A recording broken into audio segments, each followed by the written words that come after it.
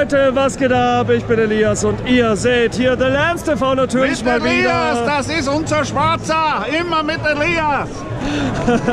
Und unser SK Sturm hat jetzt eben in der 11. Runde der österreichischen Bundesliga ein beachtliches 1 zu 1 gegen Red Bull Salzburg rausgeholt. Also ich muss ehrlich sagen, vor der Partie, ich hätte es den Jungs eigentlich nicht wirklich zugetraut, muss ich ehrlich zugeben. Heute war aber die Leistung, würde ich behaupten, größtenteils schon überzeugend. Man hat natürlich die Dosen jetzt auch nicht an die Wand gespielt, aber kämpferisch war das auf jeden Fall, äh, auf jeden Fall einwandfrei. Man hat ja gerade auch in der ersten Halbzeit, wie ich finde, defensiv die Sache schon insgesamt gut gemacht. Immer wieder so den letzten Fuß dazwischen, auch wenn man natürlich die vielen Abschlüsse der Dosen so im Gesamten nicht verhindern konnte. Aber generell gegen die aktuell überperformende Mannschaft in unserer Liga einen Punkt zu holen, würde ich sagen, ist okay.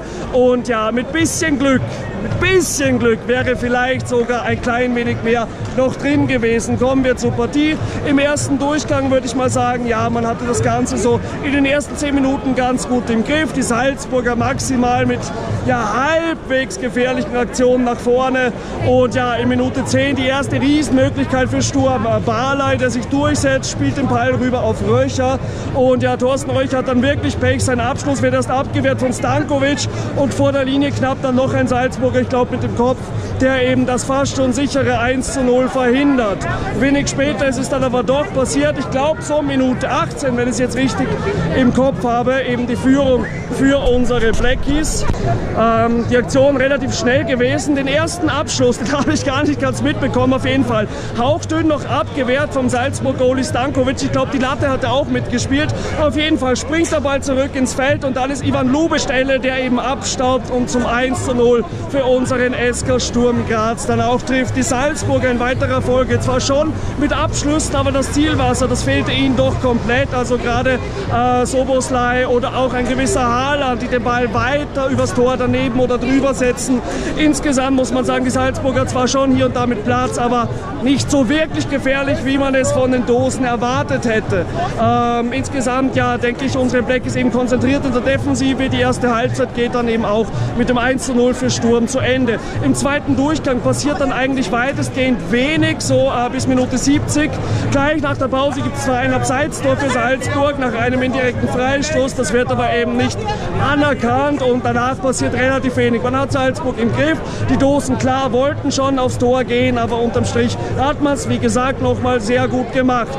Ähm, danach so aus dem Nichts, äh, für mich eigentlich in einer Phase, wo das Ganze ein bisschen eingeschlafen ist, das 1 zu 1 für die Polen, äh, der Torschütze Keuter. Ich muss ehrlich sagen, genau in der Situation habe ich natürlich weggeschaut.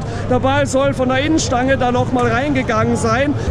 Nach dem Ausgleichstreffer, klar, die Salzburger haben dann versucht, ein bisschen in Richtung Druck was aufzubauen. Trotzdem finde ich auch in dieser Phase unsere Blackies noch relativ defensiv souverän. Äh, danach so in Minute 80 herum ein Freistoß für unsere Schwarz-Weißen. Der eingewechselte Despodov ersetzt den als Aluminium. Nach der Möglichkeit von Despodov dann trotzdem wieder Sturm mit vereinzelten Chancen doch das glückliche 2 zu 1 zu erzielen. Ähm, nachdem Despodov ähm, außerhalb des 16ers eine Flanke reinbringt, ist es leider Hirländer, der doch ja ein bisschen äh, übermütig den Kopfball dann übers Tor drüber setzt. Unsere Blackies, äh, ja, haben wie gesagt, dann doch immer wieder auch Platz aus Kontern. Klar, die Salzburger immer mit einem Abschluss so zwischendrin, aber meistens wie im ersten Durchgang geht das Ganze über das Tor oder dann doch daneben. Barley hat dann noch eine gute Möglichkeit, wird schön in den Lauf geschickt. Äh, ja, leider der Abschluss dann doch aus guter Position, sehr, sehr ja, ungefährlich im Endeffekt. Und die letzte Möglichkeit bei Sturm dann noch ein Schuss, der ans Außennetz dann geht. Ähm, Wer es geschossen hat, da ist man sich ein bisschen uneinig. Ich bin mir ehrlich gesagt auch nicht mehr hundertprozentig sicher, entweder Leitgeb oder doch Despodov. Im Endeffekt bleibt es jedenfalls beim 1 zu 1. Ich würde sagen, unterm Strich leistungsgerecht.